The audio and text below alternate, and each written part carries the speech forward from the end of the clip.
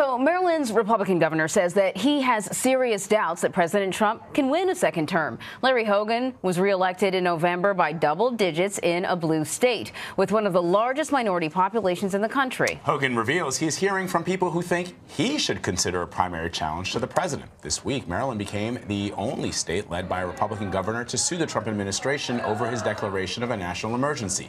CBS News political correspondent Ed O'Keefe spoke to Hogan at the Maryland State House in Annapolis.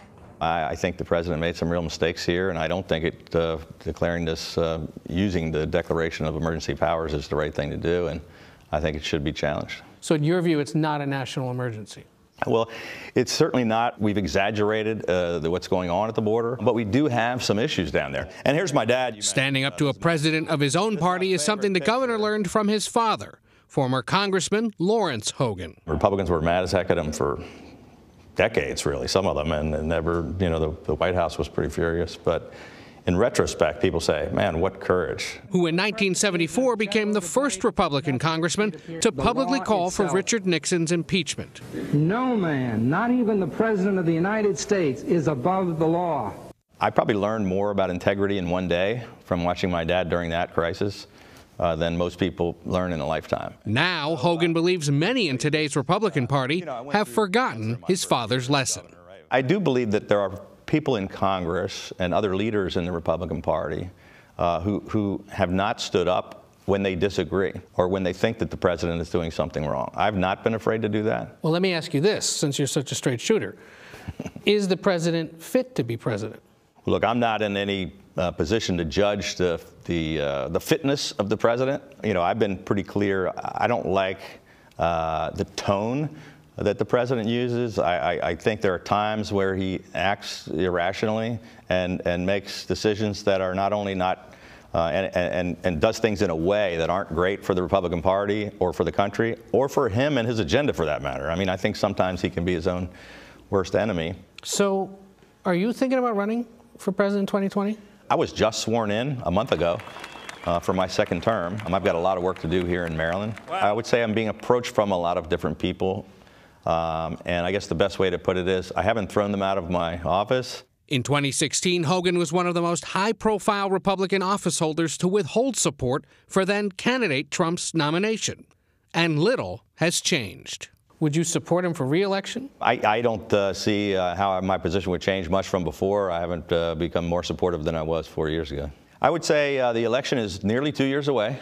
Uh, I don't know who the nominees in either party are going to be. You say you're not certain who the nominees are going to be. Do you know something we don't about the president? Not yet. Um, Do you know who they're both going to be? No, I think fair. if the special counsel report, though, came back and found pretty troubling evidence against the president, would that be a moment at which maybe you have to think somebody has I think we'll, I, I, don't want to speculate. I think you would see a number of potential uh, challengers uh, in the Republican Party consider jumping in. So, if anything, you're issuing him a warning. Mm, I didn't the numbers it, keep going I didn't down. mean it like that. I'm, I was giving him some friendly advice. And Ed O'Keefe is joining us now from Washington. What a fascinating interview, uh, Ed. We, we heard the governor express concerns about President Trump's reelection chances, but he didn't say he's ready to challenge him yet. So, based on your conversation with him, how likely is it that Governor Hogan actually launches even an exploratory committee? Sure. So, ever since his reelection in November, there's been a lot of chatter that perhaps he is somebody who should consider it, given that he is a sitting Republican office holder as opposed to a former Republican office holder, and would come at this with at least some semblance of a political network. What we noticed yesterday is while he has sort of uh, enjoyed the attention and, and is somewhat flattered by the talk. He opened the door a little farther in our conversation than he has previously in suggesting that, you know, under certain conditions, perhaps there is a way for me to get into this. And I think the most notable part of that is he says, look, if his numbers continue to sink, not only in a general election, but maybe even among fellow Republicans, perhaps in the wake of the release of the special counsel report, then not only will he, but perhaps other Republicans also look at a potential primary challenge. So, you know, what's your take on his theory that the president may be weaker than, you know, we all think? I mean, certainly right after the midterm elections, it seemed like other Republicans were more willing to be critical, but now with the emergency being declared, I don't know if I still feel the same way.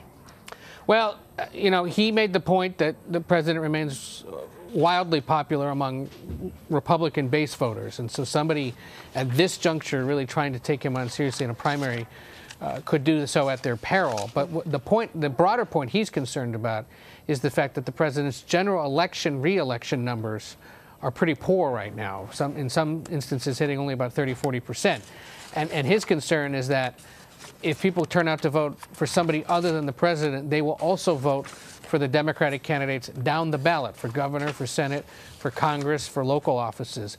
He suffered from that, Hogan did in Maryland this past November. While he won re-election by double digits, three Republican county executives were voted out of office, and attempts by the GOP to make gains in the state legislature also failed. And the day after the election, Hogan made clear that's because of the president. So he doesn't want to see it happen again in 2020.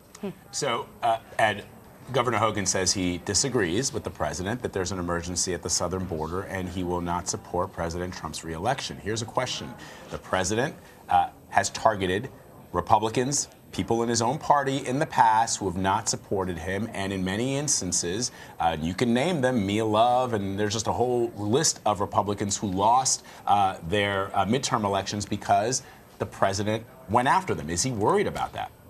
Well, remember, he just won his second term, so he's term limited out anyway. So there's really no, uh, at least in Maryland, political retribution. That's a good for point. speaking out against the president, and so he knows he can do this from a position of strength. The potential problem for him is, does the president perhaps? You know, if Maryland comes calling for federal assistance on something, say, well, you know, maybe we should delay that, or maybe we shouldn't give it to them because Mm. of how he has treated me or how he's talked about me. Uh, he is about to also become later this year the head of the National Governors Association, a group that tries to work very closely with the White House on all sorts of issues.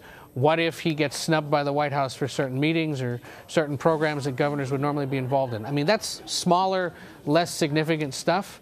But Hogan knows, his people know, and that's why other Republicans who would like him to do this know that because he faces no immediate political retribution in his current position, he perhaps can do this from a position of strength, as opposed to others who either aren't in office or would face primary challenges or the prospect of losing reelection in the position that they hold. Well, that's interesting. Ed O'Keefe, thank you so much. Thanks, Ed. Take care, guys.